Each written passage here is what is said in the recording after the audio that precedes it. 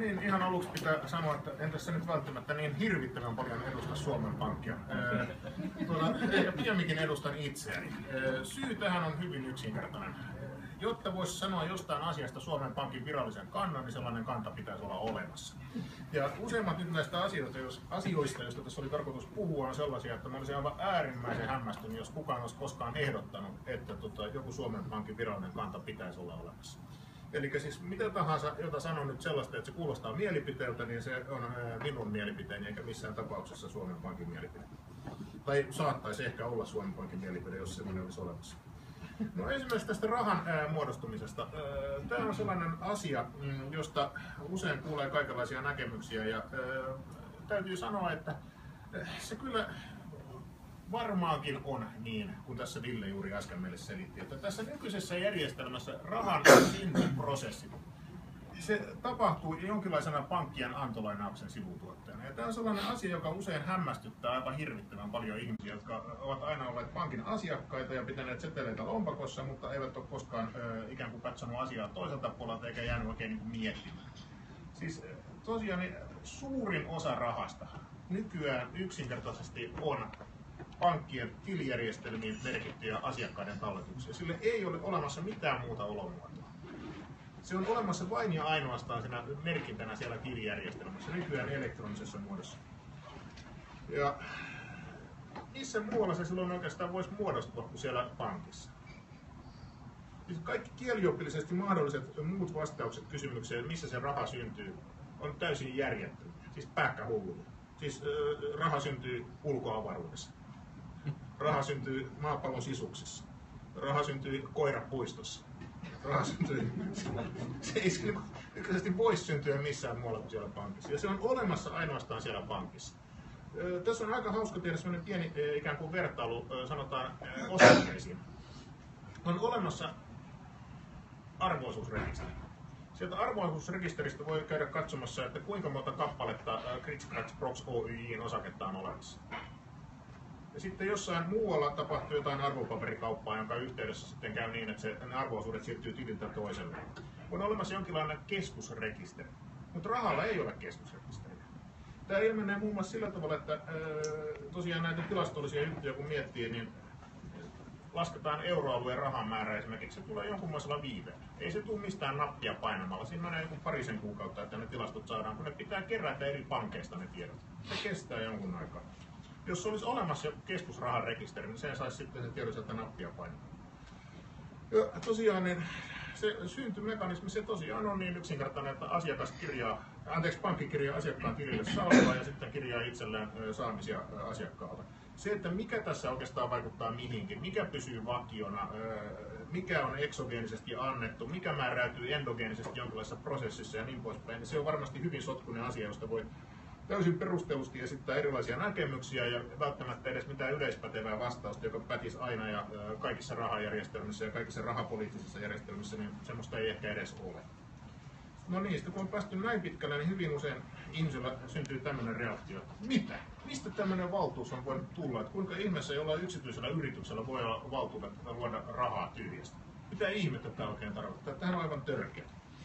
Tota, nyt kannattaa kuitenkin muistaa se, että tämä arkikokemukseen perustuva käsitys rahasta, niin se on yksi näkemys asiasta. Jos käytetään sitä tilastokäsitettä, joka on mun mielestäni ainoa järkevä, jos puhutaan hyvin suppeassa merkityksessä rahasta, ei mistään yleiskäsitteestä varallisuus, vaan puhutaan rahasta. Se on yhtä kuin setelit, kolikot ja pankkien talletukset. Suurin osa pankkien talletuksia. Mitä se raha on? Sehän käytti täysin päälailla. Arkikokemus on se, että raha on varallisuutta, ostovoimaa, taloudellista vapautta, rikkautta, vaurautta, taloudellista turvallisuutta ja kaikkea muuta sen kaltaista. Mutta sitten kun käännetään näkökulma niin, että se on pankin näkökulma, niin se on täysin päinvastoin. Se on velka, se on jotain vastattavaa, velvoitteita maksettavaa, jotain sellaista, mistä pitää olla huolissaan. Öö, ja tämä on toisin kuin keskuspankin liikkeeseen laskema seteli, niin pankin talletushan on edelleenkin sen kaltainen velka, että asiakkaalla on mahdollisuus vaatia sitä konkreettisesti maksettavaksi. Helpoiten, helpoiten miellettävä tapaus on se, että asiakas haluaa nostaa sen käteisen. Eikä tässä sinänsä ole mikään eri oikeus. Seuraavaa temppua en missään tapauksessa suosittele kenellekään, mutta juridisesti olisi ihan mahdollista niin ottaa iso papereita ja tehdä tämmöisiä haltion velkakirjoja, jos lupaa maksaa haltijalle vaadittaessa 200 euroa. Sitten menee tuonne kadunkulmiin ja jakelee niitä ohijulkijoille. Jos se henkilö, joka tekee näin, jos se ei ole täysin niin kuin, öö, velkaselvityksessä jo valmiiksi, hänellä on jotain maksukykyä ja maksuvalmiutta ja varallisuutta ja niin poispäin, niin jokainen, joka saa sellaisen paperilappusen, on saanut jotain arvokasta. Se on vähän niin kuin pankkitalletus. Se on oikeus periä velkoja joltain maksukykyiseltä taholta. Varsinaisesti nämä ei olisi rahaa nämä paperilappuset, koska juuri muita velkoja kuin pankkien velkoja ei pääsääntöisesti käytetä maksuvälineenä. Eli silloin ne eivät täytä sitä yhtä kaikkein keskeisintä rahan kriteeriä. Eivät ole maksuvälineitä. Sitten yksi asioista kanssa kuulee jotain tämmöistä debattia on se, että onko pankki rahoituksen välittäjä vai rahan luoja. Se on aika perinteinen tapa ajatella pankin roolia on se, että se ensin kerää talletuksia joltain säästäjiltä ja sen jälkeen lainaa niitä eteenpäin tota, asiakkaille ja on siis rahoituksen välittäjä. Sitten jos sanotaan, että pankki luo rahaa ja se yhtä aikaa kirjaa tota, velkoja ja saamisia kirjanpitonsa ja luo sitä rahaa, niin nämä kuulostaa aluksi täysin keskenään ristiriitaisilta väitteiltä, mutta väittäisin, että se ristiriita on lähinnä näin. Koska tämä ei tapahdu missään tyhjiössä pankilla, jotta tässä olisi ylipäänsä mitään ikään kuin näkö, tai syytä, minkä takia joku haluaisi ottaa sieltä pankista lainaa, niin pitää olla joku, joka kanssa voi käydä kauppaa. Ei, ei kukaan ota sen takia pankista lainaa, että voi tallettaa ne rahat omalle tililleen siellä ja sitten katsoa, että onpas mulla paljon saldoa tällä tilillä. Se on aina tota, maksuvälineeksi johonkin tarkoitukseen. Pitäisi olla tämmöinen Robinson Crusoe esimerkki, että meillä on tässä A ja B. Sanotaan, että A on Robinson Crusoe ja B on tota perjantai asuu siellä saarella kaksistaan. Siellä ei ole ketään muuta, mutta siellä on jonkinlainen ehkä niiden yhdessä perustama osakeyhtiö, joka on pankki.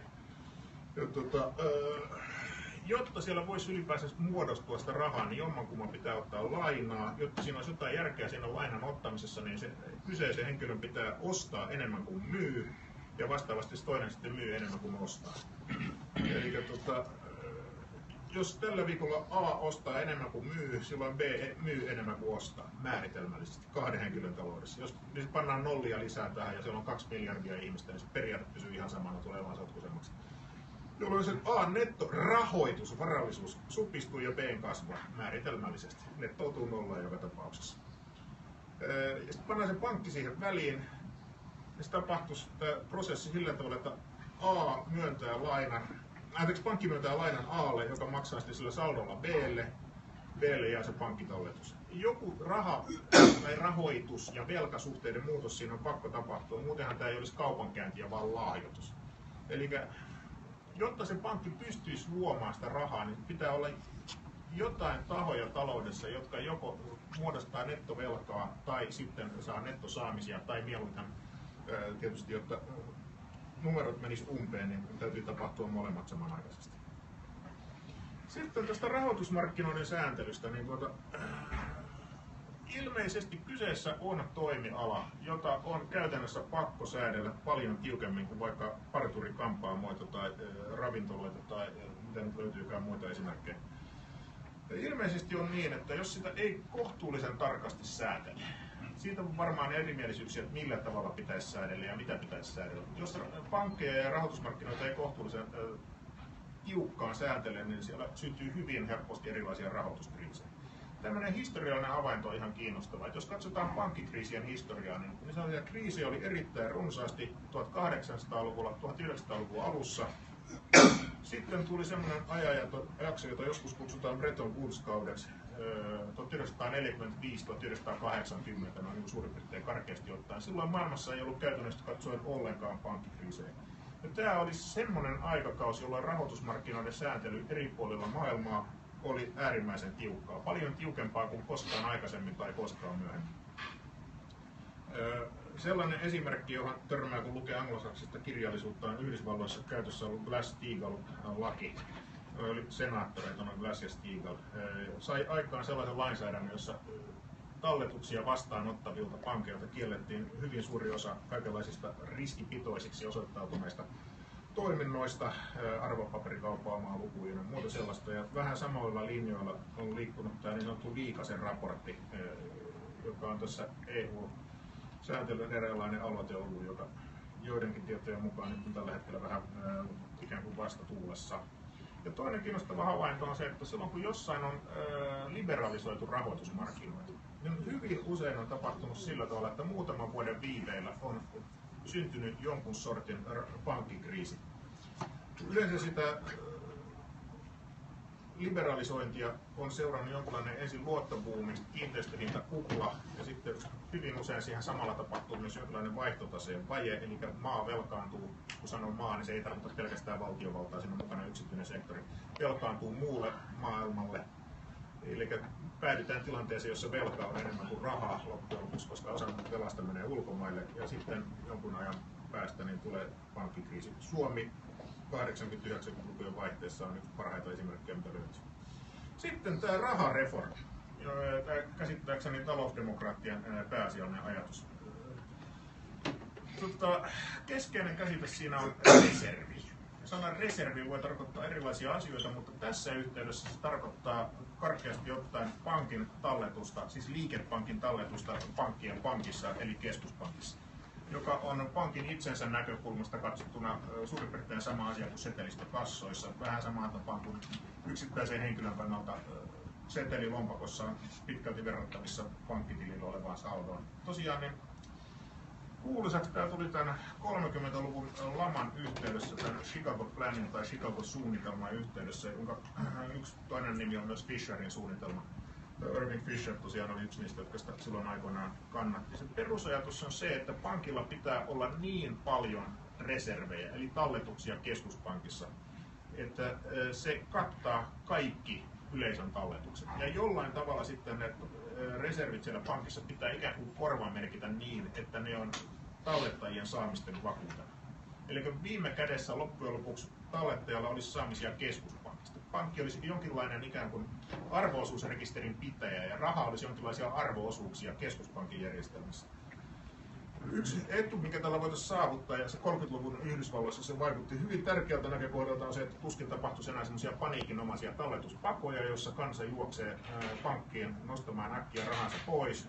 Nyt kun vielä ehkä mahdollisesti ehtii, jos huomenna odottaa, niin ei siellä ole mitään enää ja pankki on nurin. Tämä oli hyvin tavallinen ongelma 30-luvun aikana Yhdysvalloissa ja tosiaan niin tämä riski katoaisi ainakin siinä tapauksessa, että asiakkaat ymmärtää mistä on kyse, koska eihän se raha voi loppua sieltä liikepankista koskaan. Ei tarvitse ainakaan sen takia juosta hakemaan niitä. Koska aina jos sieltä on kassa tyhjä, niin pankki pystyy nostamaan omalta tililtään keskuspankista ja kaiken pystyy aina maksamaan niitä tallettelulon saamisia. Tosiaan tässä järjestelyssä raha, niin aika hyvä analogia olisi se, että on jonkun sortin arvoosuusjärjestelmä, jossa raha on arvoosuuksia keskuspankin systeemissä. Sitten, tämä on Vasemmistoliiton pitkälti masinoima tilaisuus ja aina hauska pikkusen provoilla, niin voi sanoa, että tähän on itse asiassa tämmöinen äärioikeistolainen niin libertaristis-monetaristinen ehdotus. Nimittäin kaikkien aikojen tota, tunnetuin, ainakin nykyään tunnetuin, tämän idean kannattaja oli Milton Friedman tuota, tunnetaan monetarismi-nimisen koulukunnan jonkinlaisena oppi-isänä.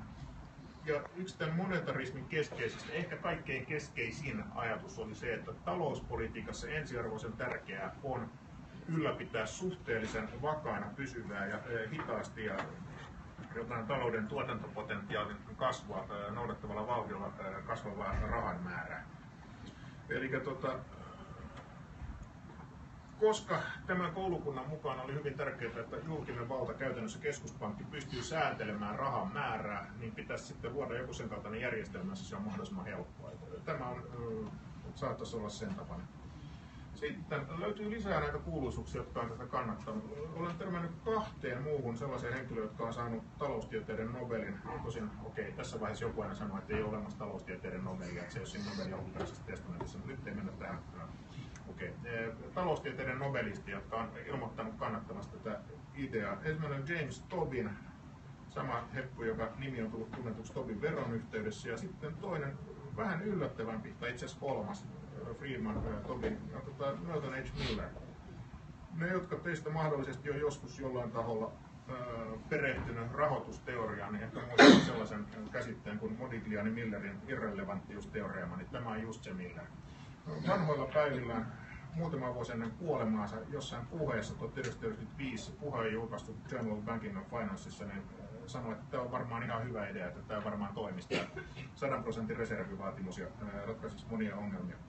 Eli jos joku sanoo, että tämä on varmasti täysin ikään kuin, miten nyt sanoisin, itseensä kanssa ristiriidassa oleva idea, ja se ei ikinä voi toimia, siinä on 57 erilaista tämmöistä loogista ongelmaa, joiden takia se on täysin toteuttamiskelvoton ilman muuta kaikissa olosuhteissa, niin siinä tapauksessa pitää myös uskoa olevansa fiksumpi kuin kolme novelistia yhdessä. Mutta sellainen asia, että mun mielestä hirveän harvoin näkee, kun tästä asiasta puhutaan, nämä osapuolten aseet miten tämä nyt oikein ihan oikeasti menisi? Me käydään lävitse numeroleikkinä. Ja nyt, nyt alussa sanoin, että en, en niinkään edusta Suomen Pankkia täällä, niin nyt seuraaviin kommentteihin varmaan kyllä vaikuttaa tämä taustaorganisaatio jollain tavalla. Otetaan vähän reaalimaailman numeroita. Suomen Pankin tase tämän vuoden toukokuun lopussa 2016 toukokuussa suurin piirtein 105 miljardia euroa. Siitä noin 38 miljardia euroa on pankkien tileillä. Sitten, niin kuin sanoin tuossa äsken, niin nämä rahamäärätilastot tulee vähän viiveellä. Tämä on vanhempi tieto, yhtä kuukautta vanhempi tieto. Yleisön rahaksi lasketut talletukset kotimaisissa rahalaitoksissa tänä vuonna 146 miljardia euroa. Havaitsemme, että näitä talletuksia siellä rahalaitoksissa on huikean paljon enemmän kuin pankeilla on talletuksia Suomen Pankissa. No, jos pankkien reservit kasvaisi niin suuriksi, että ne vastaisi yleisön nykyistä talletuskantoa, niin Suomen Pankin taseeseen pitäisi jostain tulla noin 100 miljardia euroa lisää. Kirjanpidossa niin tase menee umpeen, vastaavaa on yhtä kuin vastattavaa velkoja yhtä kuin paljon kuin saamisia, ainakin siinä tapauksessa, että myös omat varat lasketaan talonpoikaisjärjen vastaisesti niin tuota veloiksi. Nyt siitähän seuraa, että Suomen Pankille pitäisi tulla myös 100 miljardia euroa lisää saamisia jostain. Mistä ne oikein tulee? vastaavaa on kuin vastattavaa. Jos yhtäkkiä tulee 100 miljardia lisää öö, pankkien saamisia, niin miten se tase saadaan umpeen? Melkein ainoa mahdollisuus olisi se, että joku muu, mahdollisesti ne pankit itsekin, mutta se voisi olla joku muukin, ottaisi niin paljon lainaa, että saataisiin sille Suomen Pankille lisää saamisia, 100 miljardia sitten se voi ehkä se itse tehdä, se, jos on se pankki, joka on ottanut lainaa, niin voisi ehkä tehdä sen talletuksen sinne Suomen Pankkiin tai joku toinen ottaa lainaa Suomen Pankista ja tekee sitten talletuksen liikepankki, joka tallettaa kaiken keskuspankkiin tai mitä se nyt sitten menisikään. Ja tässä nyt sitten on se pieni ongelma, että näin valtavalle lisä kun, saatavan määrälle, niin pitäisi saada vakuudet jostain pitäisi saada 100 miljardin euron edestä lisää vakuuksia tähän systeemiin jollain tavalla. Tässä on sitten olennainen ero keskuspankkien ja liikepankkien välillä. Keskuspankit on vähän sanoisinko ronkeleita perinteisesti vakuuksien suhteen. Ensimmäiseksi vakuudet pitää aina olla ja toiseksi se, että mikä kelpaa, niin se on aika sanoisinko suppea joukko varallisuuseriä. Käytännössä ainoastaan arvopaperit ja niistäkin ainoastaan jotkut olen kuullut niinkin eksoottisesta tapauksesta, että jossain otettiin osakkeita vakuuksiksi, mutta pääsääntöisesti ne on aina jotain velkapapereita. Kiinteistöt ei käy, vakuudet on antolainaus, ei, ei. Tämä olisi luultavasti aika vaikea muuttaa tämä käytäntö. Osittain jo sen takia, että ei ole mitään ikään kuin vakiintuneita prosesseja, ei mitään tietotaitoa, mistään kiinteistövakuuksia hallinnoinnista eikä mitään muutakaan. Jotta tämän systeemin pystyisi todella toimeenpanemaan, niin melko varmasti jostain pitäisi kehittää talouteen lisää arvopapereita ja paljon. Tällä hetkellä Suomessa liikkeeseen laskettuja erilaisia velkainstrumentteja noin 200 miljardia euroa edestä. Jos määrä ei lisäänny, niin tota, puolet kaikesta siitä velkainstrumenttimäärästä, mikä on Suomessa laskettu liikkeeseen, niin olisi yhtäkkiä ikään kuin jumissa vakuuksena. Luultavasti sinne pitäisi kehittää sellainen järjestely, että sitä velkainstrumenttitavaraa kehitetään jostain lisää. Käytännössä se luultavasti tarkoittaa sitä, että pitäisi ruveta arvopaperistamaan lainojen pankkien taseista. Sillä tavalla se saattaisi onnistua. Asuntolainakanta Suomessa on joku 80 miljardia tai jotain, niin kyllä siitä nyt varmaan joku 40 miljardia saisi aika helposti, jos olisi voimakas tarve arvopaperista. Joku sen kaltainen järjestely saattaisi toimia. Sitten tota, rahareformi ja rahoitusvakaus. Öö, tota, tällä hetkellä tilanne on itse asiassa syksystä 2008 saakka ollut se, että jos pankilla on vakuuksia euroalueella, niin se pystyy saamaan keskuspankista niin paljon rahoitusta kuin se haluaa. Tämä saattaisi olla sen kaltainen efekti, että itse asiassa heikentäisi tämän rahareformin vaikutusta tota, rahoituskriisiriskiin, ainakin siltä osin, kun puhutaan tota, talletuspauesta.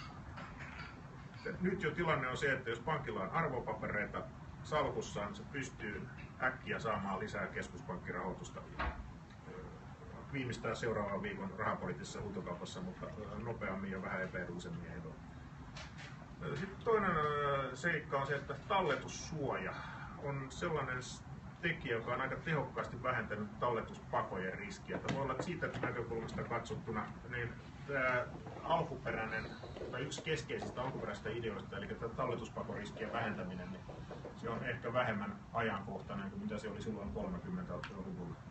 Sitten tämmöinen perinteinen argumentti aina, jolla ammutaan alas kaikki ehdotukset, joilla yritetään säädellä jotain toimintaa aikaisempaa tiukemmin, on se, että kaikkia säädöksiä aina kuitenkin kierretään.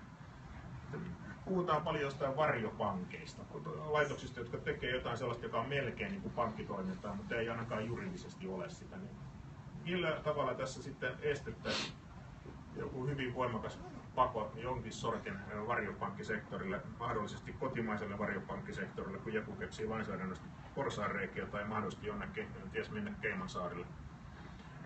Tämäkin asia pitäisi miettiä aika tarkkaan lävitse. Sitten yksi näkökohta on vielä se, että tuota, tästä, mitä hyötyjä tällaisesta reformista voitaisiin saavuttaa, niin erilaiset makrotaloudelliseen vakauteen liittyvät tekijät hyvin pitkään oli tilanne se, että rahan määrä taloudessa korreloi hyvin voimakkaasti sekalaisten makrotaloudellisten muuttujien välillä. Mutta se relaatio näyttää heikentyneen vähitellen ehkä jostain 70-luvulta alkaen. Tosin tähän semmoinen sivukommentti, että se riippuu kyllä jossain määrin siitä, että minkälaista rahan määritelmää käytetään. Siinä tilastoinnissakin voidaan laskea enemmän tai vähemmän eksoottisia pankkien velkaeriä rahaksi tai laskematta, niin se, että kuinka laajaa rahan määritelmää käytetään, se vaikuttaa kyllä tähän asiaan. Ilmeisesti ne kaikkein laajimmat rahan määritelmät ainakin, niin niiden ja sekalaisten makrotaloudellisten muuttujien väliset tilastolliset relaatiot näyttää voimakkaasti heikentyneen tässä voi olla taustalla joku senkin tapainen ilmiö, että itse asiassa rahan määrällä ei kauhean suurta merkitystä ole, mutta sen sijaan pankkien luotonannolla kyllä on hyvin drastisia makrotaloudellisia vaikutuksia. Nyt jos pankkeilla on entistä enemmän sen kaltaisia velkaeriä, joita ei normaalisti tilastoida rahaksi, niin siitä seuraa, että rahan määrän ja makrotaloudellisen, anteeksi, rahan määrä ja pankkien lainauksen, antolainauksen välinen yhteys heikkenee. Jos meillä on hyvin ikään kuin sellainen nyt sanoisin, yksinkertaistettu pilakuomainen pankkijärjestelmä, jossa kaikki pankkien vastattavat ovat yleisön talletuksia ja kaikki saatavat ovat yleisön lainoja, niin siitähän seuraa, että lainakanta on aina sentilleen sama kuin on yleisön talletuskanta. Sitten viimeinen kysymys, rahaliitto ja ehkä laajemminkin niin tuota, tämä Euroopan talousalue. On aika vaikea kuvitella, että jotain näin mullistavaa uudistusta pystyttäisiin tekemään yhdessä euromaassa. Että jos tätä ryhtyisi oikeasti toteuttamaan, niin se pitäisi tehdä vähintään koko euroalueella. Ja lisäksi vielä sitten se, mitä usein kutsutaan yhden passin periaatteeksi. Että jos tässä nyt ei olla ihan jossain Brexitin jatkamislinjoilla ja haluta hajottaa koko Euroopan talousaluetta niin, ja Euroopan unionia, niin tuota, tällä hetkellä tilanne on se, että jos luottolaitos on saanut toimiluvan yhdessä Euroopan talousalueen maassa, ja kaikki EU-maat on Euroopan talousalueen maita, niin silloin automaattisesti lupa tarjota niitä samoja rahoituspalveluita kaikkialla Euroopan talousalueella. Eli mitäs tämä nyt sitten, jos tota, vaikka euro on kuulumattomassa Euroopan talousalueen maassa, esimerkiksi Islannissa, toteutettaisiin tämän kaltainen uudistus, niin miten se sitten niin kun oikein menisi yhteen sen kanssa, että tämä etäperiaate, saisiko se sellainen pankki, joka ei ole Islannissa mitenkään fyysisesti läsnä, niin jollain ties millä etäperiaatteella jonkun internetsysteemin kautta tai muuten, niin tarjota kuitenkin Islantiin rahoituspalveluita. Ja, voi olla, että tämä on niin sen kaltainen juttu, että ei edes riittäisi, että se toteutettaisiin euroalueella, vaan se pitäisi saada runnatuksi levitse koko Euroopan talousalueella. Ja tämä tekee suoraan sanottuna niin poliittisesti aika sanoisinko, suurisuuntaiseksi tämän hankkeen. Oikea paikka lopata sitä ei ehkä olekaan Suomen eduskunta, vaan pitäisi olla europarlamentti tai joku muu vastaava taho. Joo, kiitoksia.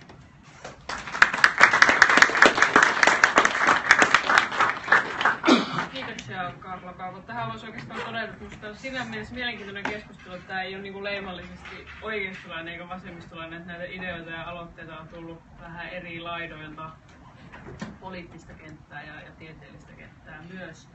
Mutta tota, mennään nyt sitten kansanedustajien kommenttipuheenvuoroihin ja ensimmäisenä Olavi